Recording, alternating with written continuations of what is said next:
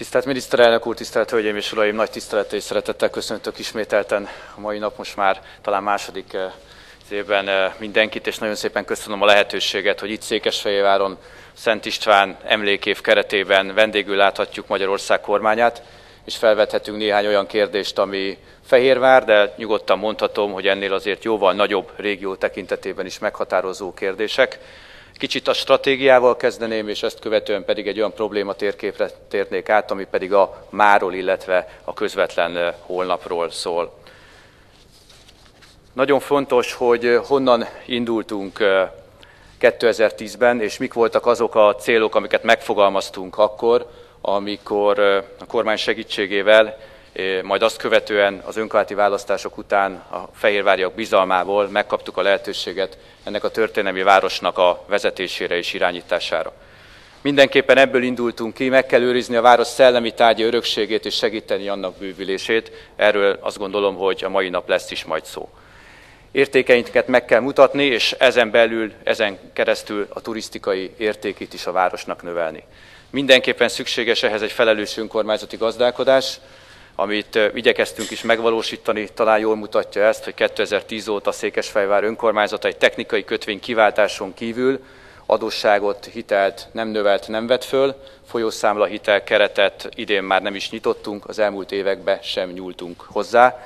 Úgy gondoltuk tehát, hogy abból a bizonyos takaróból is takarói kell gazdálkodni és fejleszteni, ami rendelkezésre áll és lehetőségként számunkra megadatik, főleg egy olyan városban, és erről majd fogunk szólni, a helyi gazdaság adta a lehetőségek jóval magasabbak, azt gondoljuk tehát, hogy itt lehet így és ilyen módon fejlesztéspolitikát megvalósítani. További fejlesztések voltak természetesen szükségesek a gazdaságban, infrastruktúra, kultúra, egészség területén is, ezekről is fogunk szólni. Mindenképpen a fiatalok oktatásáról és neveléséről is azt gondoltuk, hogy közös gondolkodás szükséges, és úgy, hogy ez a gazdaság valós igényeihez is kapcsolódjon. Azt hiszem, hogy ebben is a kormányprogramnak megfelelően próbáltunk, igyekeztünk eljárni. Egy egészséges környezet és önmagában egy szabadidősport lehetőség, az pedig az élhető, a város élhetőségéhez tartozik hozzá, hogy az emberek szeressenek is székesfehérvári polgárok lenni, nem csak a város több mint ezer éves múltja, hanem jelene és remélhetőleg jövője okán is. És természetesen egy ilyen város, amelyik komoly szakrális elődökkel is rendelkezik, és szakrális hagyományokkal is, a rászorulók felkarolásával és a társadalmi szervezetek támogatásával is kell, hogy dolgozzon és gondolkodjon. A fejlesztési irányvonalakat két alappólus határozta meg, az egyik a történelmi múlt és az abból fakadó felelősség tudatos felvállalása, hangoztatása, részben a 2013-as Szent István emlékév, ez ennek a megvalósítását is jelenti. Ugye 2010. decemberében döntött a város közgyűlése egyébként egyhangú döntéssel arról, hogy a 2013-as emlékeztendőt meghirdetjük. A másik pont az pedig a regionális szerep erősítése, stratégiai értékek megőrzése, gazdaságösztönzés helyi szinten is, infrastruktúra fejlesztése és a közszolgáltatások köztulajdonban van vétele. Ebben a tekintetben is tettünk lépéseket, és abból indultunk ki, hogy Székesfehérvár egy olyan város, amelyeknek térségi kisugárzása is kell, hogy legyen, van is, és ezt érdemes fejleszteni, és olyan fejlesztéseket, programokat megvalósítani, amelyek a székesfehérváriak életminőségét is javítják, és egyben a város stratégiai regionális szerepkörét is emelik, növelik. A történelmi múltról néhány szót, illetve annak a mába gyakorolt hatásáról. Szent István ünnepének előestején Székesfehérváron, amit azt gondolom, hogy nagyon sok minden köt Szent István királyhoz, és nagyon sok minden köt ehhez a bizonyos ünnepkörhöz is, akár csak a tegnapi nap szimbolikus és történelmi jelentőségére gondolok, legalábbis 1938. augusztus 18-ára, akkor azt gondolom, hogy ezt ebben a körben külön hangsúlyoznunk nem kell. De ez a közös felelősség, ez egyfajta városfejlesztési stratégiai elképzelésnek is az alapját képezi. A 2013 nem egy egyszeri alkalom, és nem is egy öncél, hanem egy programnak gyakorlatilag a kezdete, aminek következő két állomása 2022-ig tart. Ugye az Aranybúl a Székesfehérvári kibocsátásának 800. jubileumi évét fogjuk akkor ünnepelni, és 2038 az pedig az a bizonyos ezredik évforduló. Szerintem ennek külön hangsúlyozására sincs szükség. Nem azt jelenti, hogy akkor következnek be események Fehérváron, hanem azt jelenti, hogy bizonyos fejlesztéseket ebben a két kulcs évig szeretnénk megvalósítani, és szeretnénk megálmodni. Mindenképpen fontos elmondani, hogy szeretnénk hosszabb felkészülést mind a 2013-as ünnepi emlékévre, hiszen két év állt rendelkezésünkre, azt hiszük, hogy érdemes mind 2022, mind 38 vonatkozásában ezt a feladatot és a munkát elkezdeni. A mai ember tekintetében természetesen ez hosszú időtávnak tűnik, de egy ezer éves városban ez a holnap és a holnap utánt jelenti valójában. Milyen fa- feladatok fakadnak ebből a történelmi múltból? Részben is el is érkeztünk a Nemzeti Emlékhely kérdéséhez és ügyéhez. Először is szeretnék megköszönni a kormánynak, hogy támogatta, és az országgyűlésnek, hogy elfogadta azt a törvényt, ami a tíz nemzeti emlékhely egyikeként határozta meg itt ezt a Székesfehérvári Nemzeti Emlékhelyet. Ez egy nagyon fontos jogi kötőerővel is bíró döntés volt, ami azt hiszem, hogy nekünk városnak is nagyon nagy segítséget nyújt ahhoz, hogy ezeket a fejlesztési elképzeléseket fel tudjuk vázolni és meg tudjuk valósítani. Fontos, és azért hozzátehető mindenképpen, hogy Fehérvár ugyan egy ilyen nemzeti emlékhelyen rendelkezik, de azért mi mindig egy kicsit kitekintünk, és itt van a Velencei tó, és itt van Pákozd, ami legalább annyira fontos ugye Székesfehérvárnak is, és ahol lehetőségünk van, a Pákozdi Nemzeti Emlékhely ügyét is természetesen városi szinten is támogatjuk, és egyben kérjük is a kormánytól. Fontos elmondani, hogy ma a Nemzeti Emlékhely több olyan problémával küzd, amit érzésünk szerint pont ennek a szimbolikus emlékévnek a keretében kell elkezdeni megoldani, és kell egy rövid távú, és azt gondolom, hogy érdemes egy középtávú megoldást is keresni, illetve találni. Mindenképpen szükségünk van, szeretnénk megvalósítani ebből következően egy olyan tájékoztató és látogató központot, ami a méltó módon történő megközelítését teszi lehetővé a nemzet koronázó templomának és temetkezési helyének, mert ma ez bizony megoldatlan kérdés, ma nincs hova az arándokoknak és hogy bejutni a Nemzeti Emlékhelyre, és áldatlan helyzetek vannak a megmaradt kőállomány vonatkozásában is. Ezért gondoltuk arra, hogy néhány belvárosi ingatlan felújításával és megvásárlásával ebben az első lépést meg lehet tenni. Ez a rövid távú elképzelés, ehhez kérjük azt a segítséget és támogatást lehetőség szerint a kormánytól, hogy ezt a konkrét tervezési munkát elkezdhessük, és ezt követően partnerként ehhez a kormányt megnyerhessük magunknak. Ha ez sikerül, akkor azt gondoljuk, hogy olyan figyelem fogja övezni a Nemzeti Emlékhely kérdését, ami nem csak Székesfehérvár ügye meggyőződésünk szerint, hanem az össz-magyar nemzet ügye is, a magyar történelemnek mindenképpen egyik fontos bölcsőjéről beszélünk ugyanis, muszáj aznak is átgondolására, hogy hogyan tudunk egy hosszú távú megoldásra is szert tenni, mit kezdünk önmagával a romterülettel, mit kezdünk a kövekkel, túl azon, hogy egy látványraktárba helyezzük őket, szabad-e és milyen módon hozzányúlni a Nemzeti Emlékhelyhez, mit és milyen módon szabadott szakrális jelleggel építeni, és mi célul tűzzük ki, hogy 2022-re ez esetleg megvalósulva már olyan hely lehessen, ahol egy-egy ilyen ünnepi emlékév keretében a szakrális és állami jelképek, szimbólumok is meg tudnak jelenni, és el tudnak jönni oda, ahol gyakorlatilag sok tekintetben az otthonuk és a bölcsőjük is van. Ez a Nemzeti Emlékhelyen megvalósítandó feladat. Úgy látjuk, hogy két, lépcső, két lépcsőben ez meg is történhet, és ebben kérjük a kormány támogatását. Fontos elmondani, hogy természetesen ez egy kulturális és zarándokhely is kíván lenni, és már számos olyan kiránduló csoport van, legutóbb és a következő napokban is például egy csángó csoport fog érkezni, akik kifejezetten Szent István sírjához érkeznek, és szeretnék leróni a tiszteletüket. Ennek elősegítése, infrastruktúra kialakítása azt gondolom, hogy közös feladat lehet, és talán felelősségként is fölvállalható. Fontosak természetesen további olyan kulturális fejlesztések, amelyek elsősorban a regionális szerep megerősítését szolgálják. A várostörténetű gyűjtemény ugye ugyanebből a több mint ezer éves történelemből táplálkozhatna, de szükségünk lenne egy olyan modern kulturális térre, amivel néhány nagyváros már rendelkezik, és ahol elsősorban a kortárs művészeteknek lehetnek otthonra lelni. Nagyon széles és nagyon fontos gazdag gyűjteménye van ugyanis Fehérvárnak, amit részben tudunk ma a pillanatban megmutatni.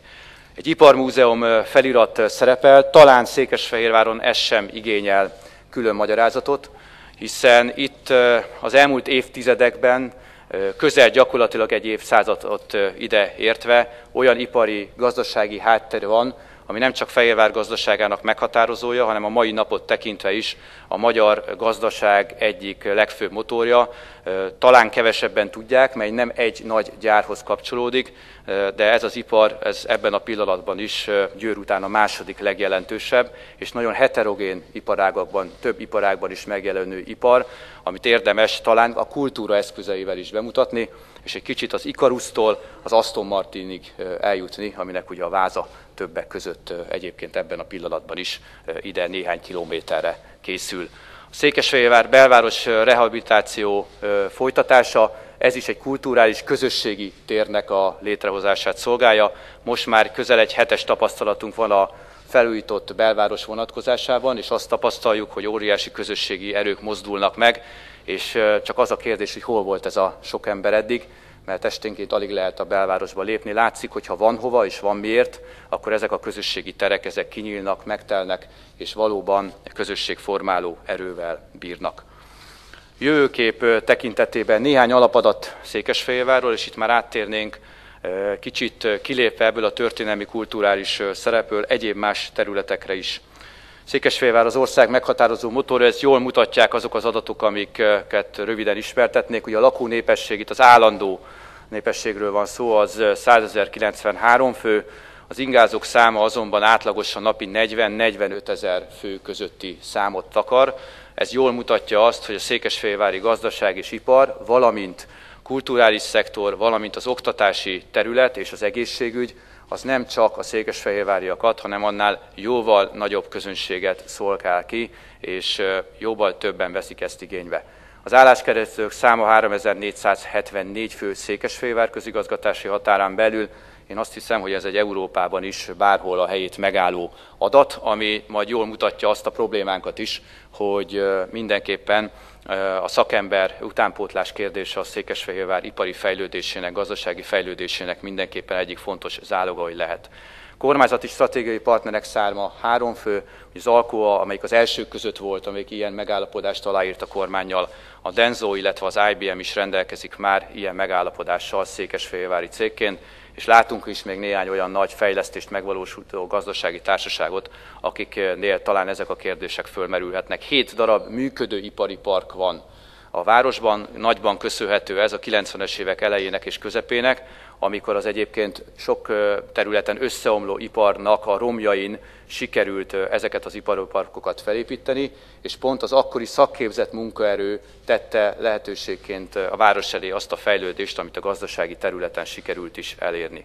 A város infrastruktúrális elhelyezkedése, közlekedési, logisztikai elhelyezkedése azt gondolom, hogy nagyon kedvező, hiszen gyakorlatilag ugye stráda kapcsolattal, most már gyorsvasúthálózattal is rendelkezik, illetve van egy reptér fejlesztés számára is alkalmas terület, ami szintén azt gondolom, hogy fölvethető infrastruktúrális fejlesztés tekintetében külföldi tőkebeáramlás dinamikus ebben az esztendőben, előző években is, és ahogy ezekkel a fejlesztőkkel beszélünk, akár a magyar tulajdonú cégek, akár a külföldi tulajdonú cégek esetében a jövőbeli elképzeléseik is növekedésre, és arra utalnak, hogy bíznak Székesfehérváron keresztül a magyar gazdaságban, jól érzik magukat, és otthon érzik magukat Magyarországon és a székesfehérvári gazdaságban, és a magyar embernek a munkavállalási képességét nagyra becsülve mindenképpen fejlesztésekben gondolkodnak.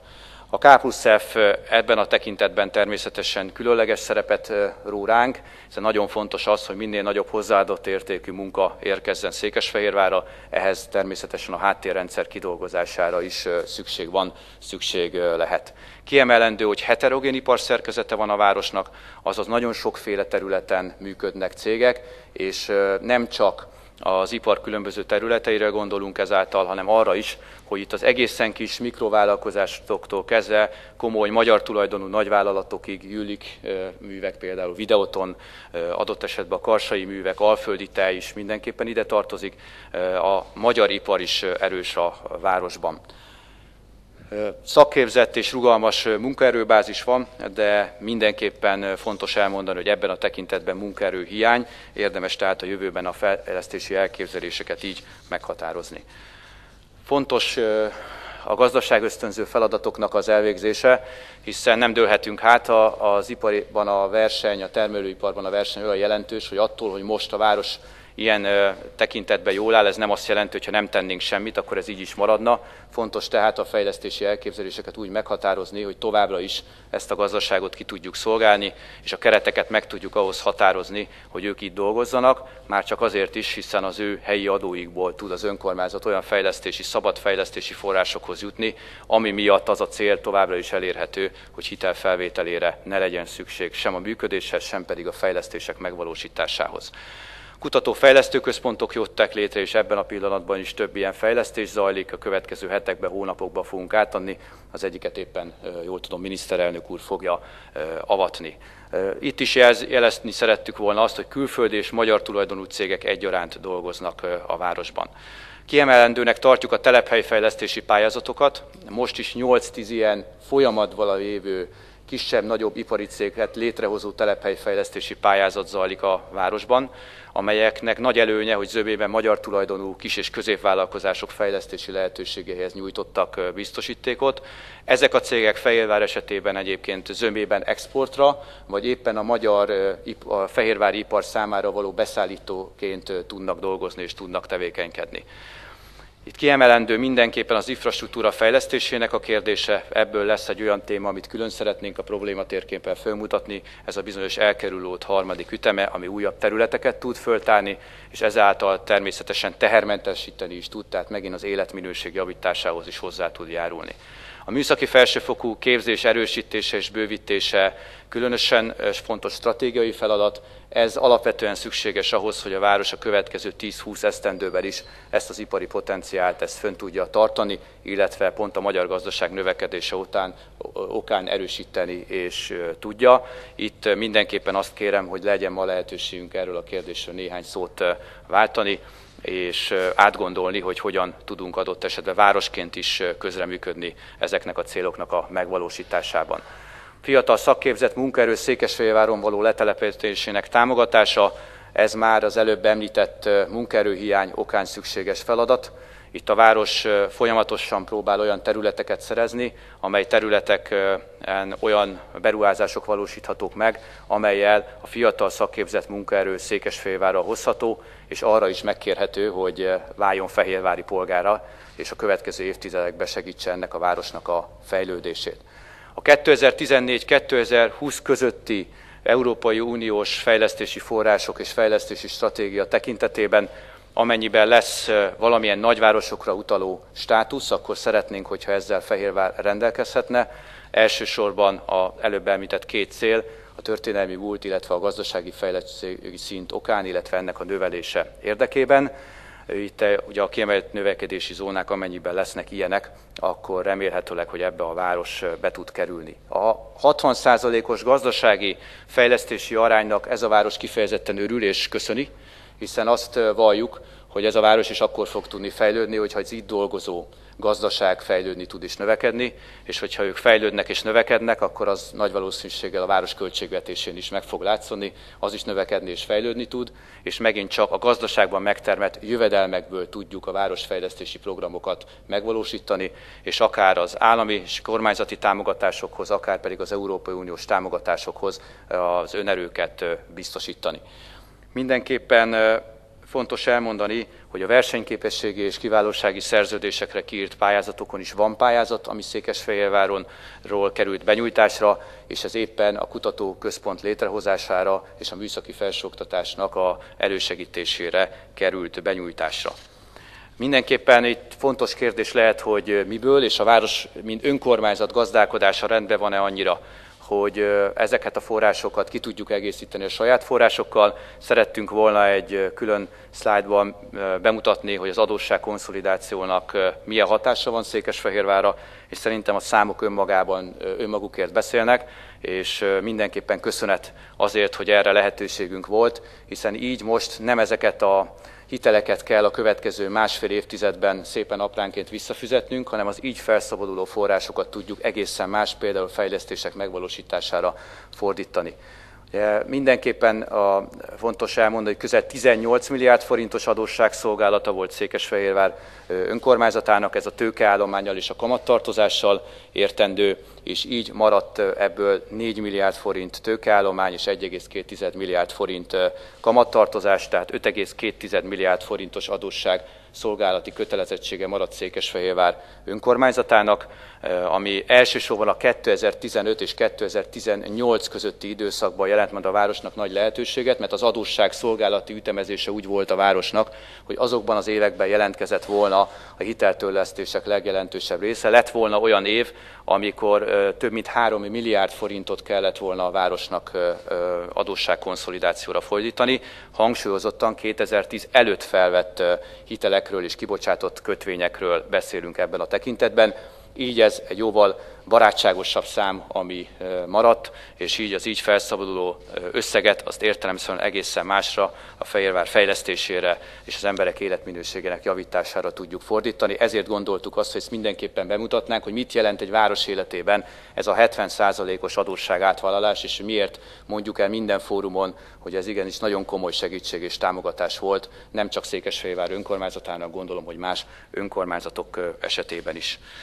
A jövőkép tekintetében a közösségépítést mindenképpen aláhúznánk, abban a tekintetben is, hogy Székesfehérvár elhelyezkedését, ha valaki megfigyeli, akkor jól láthatja, hogy hátrányként is megfogalmazható az elmúlt évtizedek tekintetében, de mi kifejezetten előnyként szeretnénk a jövőben megélni, hogy a Budapesthez és a Balatonhoz is nagyon közel van a város, és a stráda kapcsolat, illetve a gyors vasút fejlesztés megvalósulása okán ez gyakorlatilag 20-30 perces távolságokra rövidült, és mi úgy gondoljuk, hogy pont meg kell fordítani a trendet, és ez sok esetben már egyébként így is van. Rengeteg olyan szolgáltatás van már most is, de a jövőben biztos, hogy fejleszthető sok minden ilyen, ezek közül, amelyek azt eredményezik, hogy főleg Budaörs ért vonatkozásában, illetve Buda vonatkozásában Fehérvár is nyújthat olyan szolgáltatásokat, amit az ott élők igénybe tudnak venni, mint hogy a Balaton elsősorban déli partja az, ahol a stráda kapcsolatokán erre lehet lehetőség.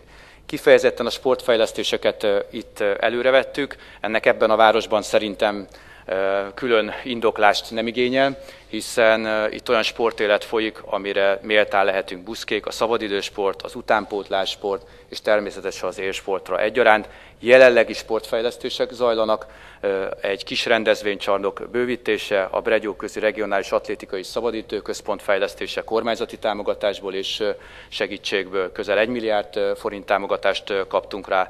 Városi sportpályák épülnek, szintén a társasági adórendszer kedvezményrendszernek a segítségével és ugye a Sóstói stadionban pedig utánpótlás bázis bővítés, illetve fejlesztés zajlik, ezekben az órákban is minden bizonyal dolgoznak ott. Két olyan kérdés van a sport területén, amit reményeink szerint a következő években közös erővel meg tudunk oldani, és ebben kérjük is a kormány támogatását és segítségét, és kifejezetten közösségépítő célból kérjük ezeket a lehetőségeket. Az egyik egy rendezvénycsarnok, ami önmagában szolgáltatást tudna nyújtani Buda-Fehérvár vonatkozásában is, és mi úgy írjuk mindig, hogy ez egy jégalapú rendezvénycsarnok lenne, elsősorban a jégkorong és ugye az osztrák liga, vagy esetleg más, talán még előkelőbb ligák megcélzása érdekében is, hiszen hogyha egy horvát városnak sikerült, akkor egy magyar városnak miért ne sikerülhetne az, hogy a világ második legnagyobb ligájába játszon. Ehhez viszont infrastruktúrára van szükség, de ez az infrastruktúra, ha elkészül, akkor ma is tudja azt a 3000-4000 eladott jegyet minden egyes mérkőzésen, közel 40 mérkőzésen keresztül, ami egy alapüzemeltetési költséget már fedezni és biztosítani tud az önkormányzat irányába. Tehát mi nem azt kérjük önmagába, hogy segítsen nekünk a kormányzat ebben vagy a következő ciklusban, hogy ezt meg tudjuk valósítani, hanem azt is nézzük, hogy mi magunk ezt üzemeltetni is legyünk képesek, és úgy látom, hogy Székesfehérvár képes lenne egy ilyen csarnokot üzemeltetni. És azért rendezvénycsarnok, mert ennek többnek kell lenni minden sportcsarnok, hiszen ezek vásárhelyszín, konferenciák, kiállítások megrendezésére alkalmas hely is lehetne. Hasonló a stadionépítés kérdése, ebben a városban szintén azt hiszem, hogy nem kell ezt külön bemutatni, hiszen nemzetközi értelemben is mindenképpen egy fontos bázisa ez a magyar sportnak és azon belül a labdarúgásnak, de megint közösségi térről érdemes beszélni, mert ma már azt hiszem, hogy mindenhol egy rendezvénystarnok vagy egy stadion az ezek közé tartozik, ezért kérjük és vetjük föl ezen a kormányülésen ezeknek a fejlesztéseknek a lehetőségét. Az egészségügy vonatkozásában Varga Tamás államtitkár urat kértem arra, hogy majd néhány szót szóljon. Most csak annyit szeretnék hozzátenni, hogy a vidék legnagyobb kórháza működik Székesfehérváron, és megint csak akár Buda, akár pedig a Balaton déli partja ebben a tekintetben érdekes lehet. És hogyha megengedik, akkor most térnék rá arra a probléma térképre, ami kiemel néhány olyan konkrét fejlesztési irányt és problémát, amiben kérjük a kormány támogatását és segítségét, és azt, hogyha lehet, akkor ezt a mai ülésen tárgyaljuk meg, tárgyalják meg.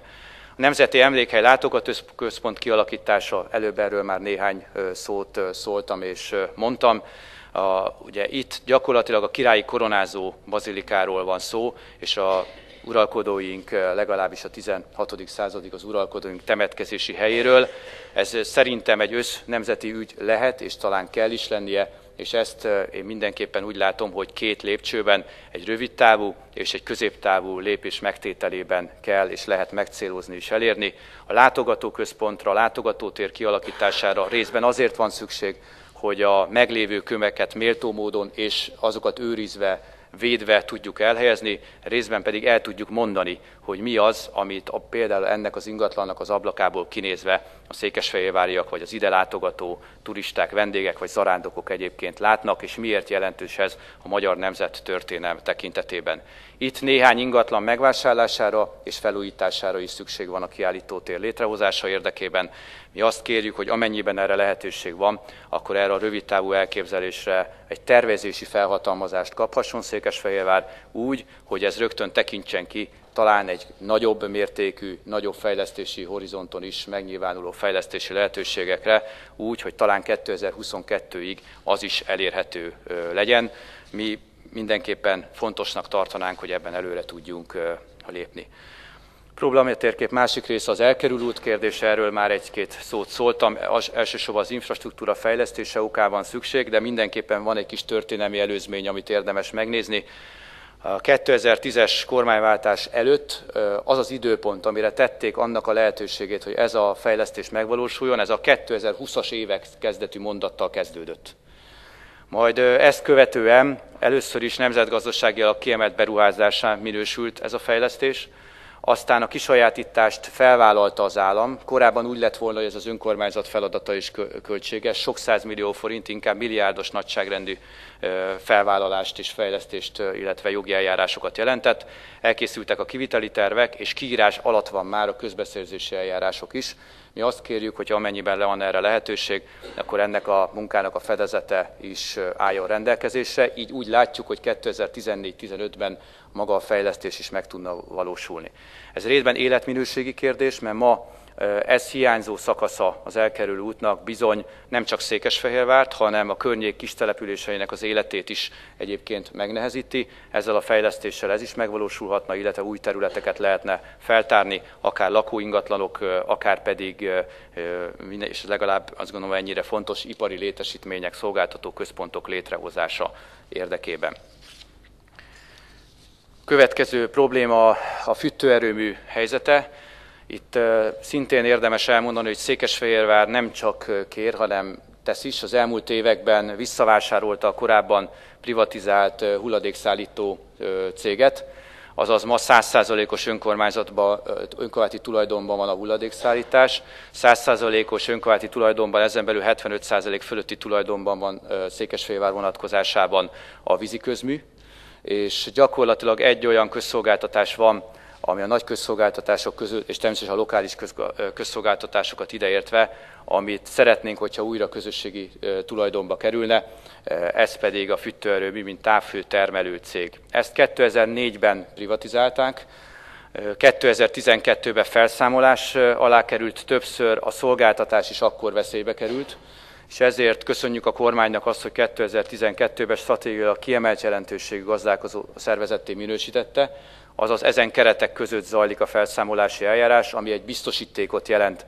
a több mint 21 ezer háztartás számára, akik távfőszolgáltatással rendelkező lakásokban élnek Székesfehérváron, de szeretnénk, amennyiben erre lehetőségünk lesz a felszámolási eljárásból ezt a fűtőerőműt megvásárolni és közösségi tulajdonba helyezni. Úgy látjuk, hogy ez körülbelül nagyságrendileg, természetesen a felszámolás zajlik, úgyhogy ez ilyen értelemben a mi részünkről is inkább csak egy körülbelül érték nem biztos, hogy fedi majd azt az értéket, amit fizetni kell érte. Körülbelül egy 3 milliárd forintos összeget érhet el. Én abban azt kérjük a kormánytól, hogy amennyiben lehet, nyújtson segítséget annak érdekében, hogy ne kelljen hitelt fölvennünk, azaz a város ezt azt követően saját forrásaiból karbantartva működtetni legyen képes, akár maka, akár amennyiben erre van igény, ezt az elmúlt hetekben már fölvetettük, akkor az állammal közösen ezt a működést, illetve ezt a fejlesztést meg tudjuk valósítani, azzal, hogy az önkormányzat úgy gondolja, hogy a közösségi szolgáltatásoknak közösségi tulajdonban a helye, és élő példákat tudnánk Székesfehérvárról hozni, hogy milyen érzés az, amikor, amikor hirtelen megszűnik egy kedvezményrendszer, akkor úgy dönt egy magántulajdonos, hogy a dolog innentől kezdve már nem érdekli, és azt sem érdekli, hogy ha esetleg egy másik szolgáltató kikapcsolva a gázszolgáltatást több tízezer embert hagy közszolgáltatás nélkül mondjuk egy decemberi téli estén, ez ugyanis majdnem megtörtént Székesfehérváron, és élő példája annak, hogy a közös felelősségünk az, hogy közösségi tulajdonban legyenek ezek a közszolgáltatások. Mi ebben kérjük a segítségét a kormányzatnak. Van még egy szlájd, amit, amit államtitkár úrtól, Varga Tamás államtitkár úrtól kértem, hogy ő ismertesse röviden, illetve zárja le ezt a bevezetőt. Előtte én azt, azt szeretném zárni ezt a néhány gondolatot, hogy van néhány olyan tapasztalatunk természetesen egyéb területekről is, a közigazgatás átalakulása, az oktatás átalakulása területéről, amit a kormányülésen nagyon szívesen osztjuk meg majd a tapasztalatunkat. Most inkább a napi problémákról, illetve stratégiai kérdésekről kívántunk szólni, és azt kérem, hogy fogadja el tőlem mindenki, hogy természetesen Fejévár polgármester a városa iránt elfogult, főként, hogyha évszázadokra visszamenőleg minden családilag is ahhoz a városhoz köti. Köszönöm szépen a megtisztelő figyelmüket, és köszönöm szépen, hogy meghallgattak.